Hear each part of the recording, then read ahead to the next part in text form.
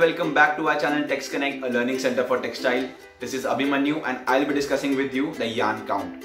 Now I request all of you to watch the video until the end because if you're lost somewhere in the middle, I'm pretty sure you'll get it by the end of this video because we have taken a lot of examples.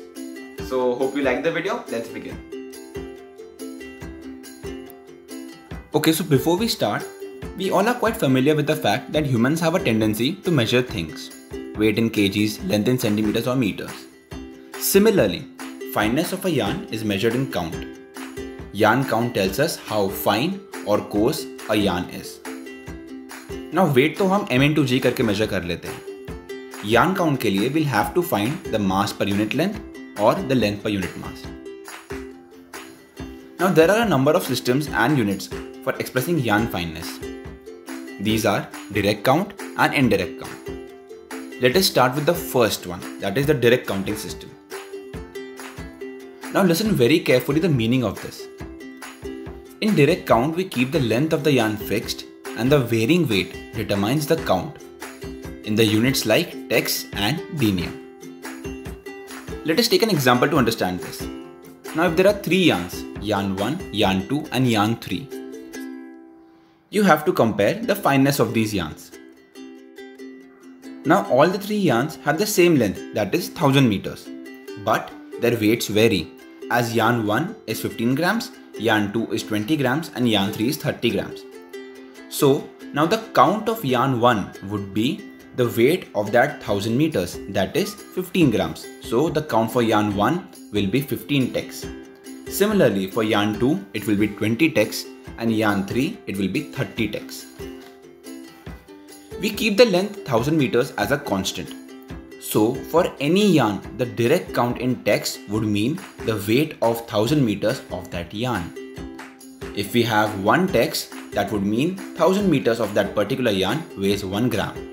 If we have 50 tex, that would mean 1000 meters of that particular yarn would weigh 50 grams. And if we have 102 tex, that would mean 1000 meters of that particular yarn would weigh 102 grams.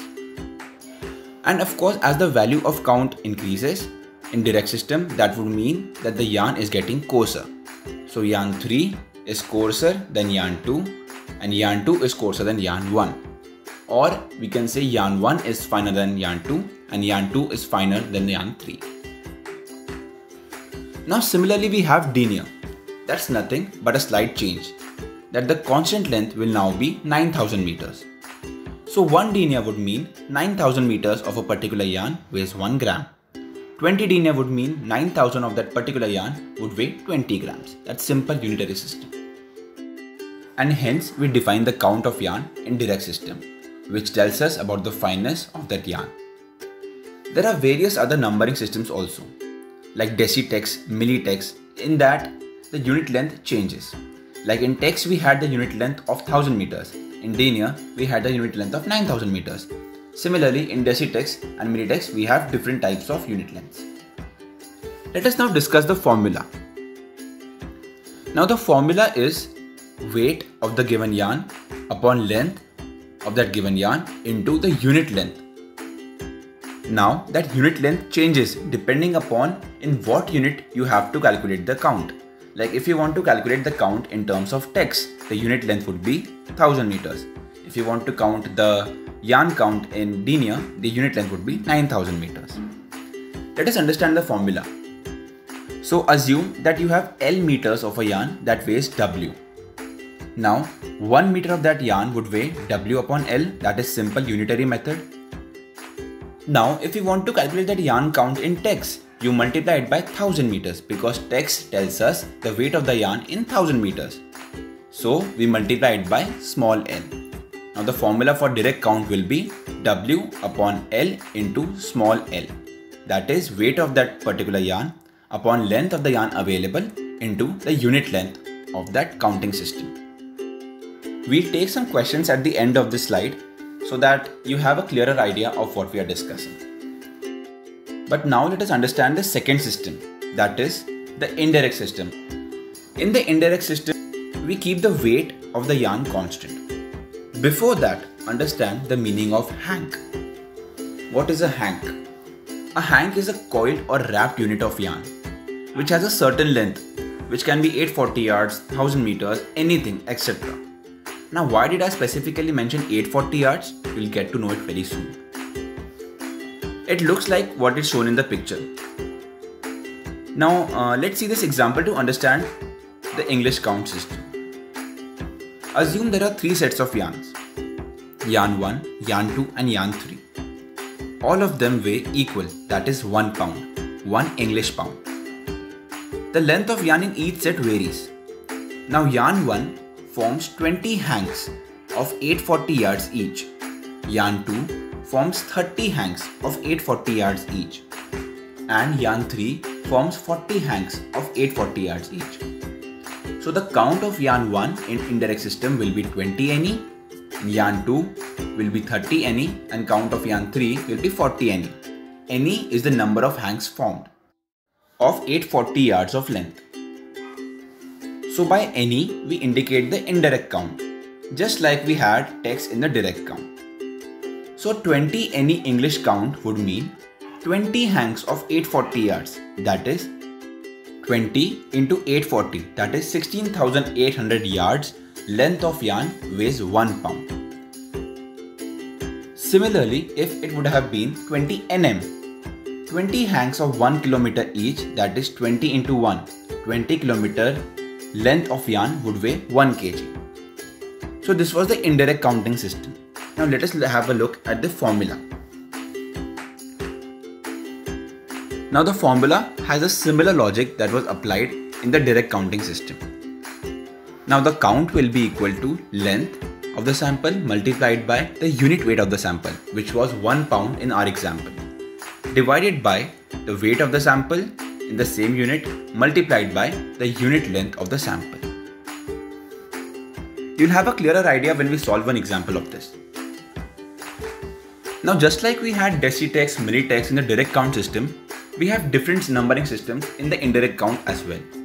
Like for English count, NE, we took the unit length 840 yards to form a hank and the unit weight was 1 pound. But if we take woolen count, the unit length would be 256 yards to form a hank and the weight will be 1 pound.